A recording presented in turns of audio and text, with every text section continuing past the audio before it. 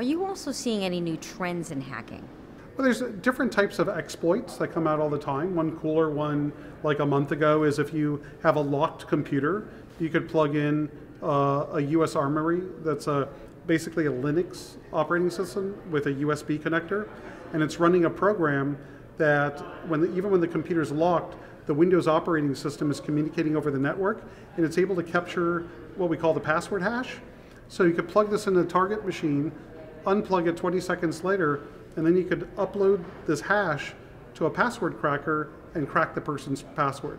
So this is a new attack that came out like a month ago that nobody was aware of. It was actually it was accidentally discovered.